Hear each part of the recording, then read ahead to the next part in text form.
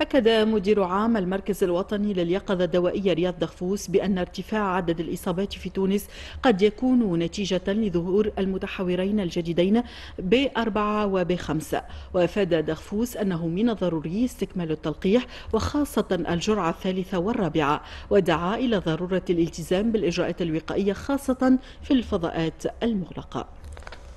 كنا قبل BA 1 و BA 2 تو نشوفوا اللي في أوروبا أكثريتهم ال BA 4 وال BA 5 وهما الخاصية نتاعهم اللي عندهم الانتشار أسرع. ويمكن هذا يمكن ياسر اللي دخل تونس ال BA 4 وال BA 5 هو ماهوش مخطر. اللي ما عادش نرجعوا للخطورة نتاع الدلتا نتاع قبل. أما الانتشار نتاعو أسرع. ويمكن هذا اللي يفسر سرعة الانتشار اللي عايشينها آه، الأيامات هذوما الأخرانيين. معناها 80% من التوانسة اللي فوق ال 40 سنة عملوا تلقيح نتاعهم. donc التاثير نتاعو على بصفة عامة ما مش يكون كبير.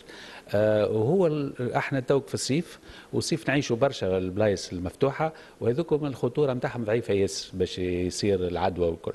donc déjà في المستوى هذاك ما نخافوش. البلايص المسكرة المغلوقة هذوك ناخذ فيهم شوية احتياطات نهويوهم ديما نحلوش